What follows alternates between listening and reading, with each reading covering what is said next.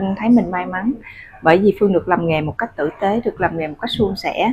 À, cái từ suôn sẻ ở đây không có nghĩa là phương không gặp nhiều trở ngại khó khăn.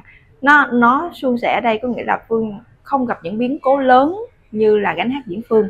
À, và bản thân phương thì cảm thấy là à, được làm cái nghề cái nghiệp nhưng đó lại là một cái đặc ân của mình. Tại vì không phải ai cũng có thể hữu duyên để trở thành một nghệ sĩ mà đặc biệt là một người nghệ sĩ được nhiều khán giả biết đến và quan tâm đến cuộc sống của mình.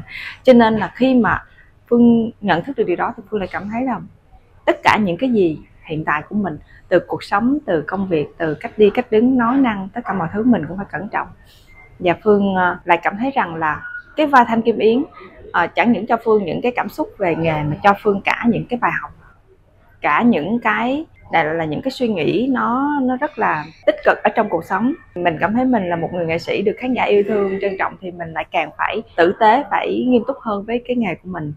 Và phương cũng mong rằng là quý khán giả à, khi xem phim cũng sẽ nhận ra được một cái vài điều gì đó riêng cho bản thân mình như phương. Anh kiên là ảnh hầu như ảnh không có một cái uh, vấn đề gì đối với bạn diễn của chị và khi chị đi làm việc, chị đi đóng phim thì hầu như là ảnh rất yên tâm mà ảnh có thể đưa chị đến rồi ảnh về, ảnh đi dạy, ảnh đi làm công việc của ảnh.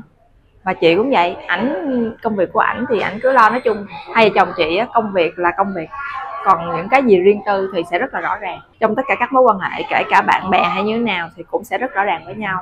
Khi mà chị đến à, những cái nơi đình miếu, những cái nơi mà nó hơi, có vẻ là nó không, nó hơi nó hơi tâm linh thì nó thú thật là chị sẽ đi khấn trước chị sẽ đi khấn xung quanh là thậm chí là chị đến chị vô miếu chị thắp nhang đầy đủ và chị khấn chị xin. Ừ, có thờ có thiên cho nên là chị cứ nghĩ rằng là mình có kiên có lành mình cứ uh, thành tâm và xin uh, các vị phù hộ cho con được hoàn thành tốt công việc của mình ở đây. Thì uh, từ lúc mà quay từ đầu cho tới tận bây giờ thì chưa có một sự cố nào. Và cái điều hay nhất là chị chưa hề bị bể lịch. Có nghĩa là đi đến đâu chị cũng xin chị xin là cho con hoàn thành tốt và không có bị nợ lịch. Và thật sự rất là may là chị không có bị nợ lịch và chị được quay gần như đúng với cái lịch trình luôn. Chị đi quay là các con của chị luôn ở nhà và có có anh ở nhà lo và kể cả là có bà và bảo mẫu. Các con của chị thực ra mà nói là các bé ờ, cũng tự lập được và hầu như không đòi mẹ. Có mẹ nhà thì một, hai chỉ có mẹ thôi, không có ai khác. Nhưng khi mẹ đi làm thì lại rất là ngoan và không bao giờ đòi mẹ chỉ có là như nói là con nhớ mẹ rồi thì ba hoặc là bảo mẫu sẽ gọi điện để nói chuyện với mẹ thôi. Thì nghĩ thì cũng như mọi người thôi ai cũng sẽ có những tình bạn của mình. Quan trọng là mình mình sống như thế nào mình đối với bạn mình như thế nào thì mình à, có thể giữ được cái mối quan hệ đó là do bản thân mình. Mình có muốn giữ hay không?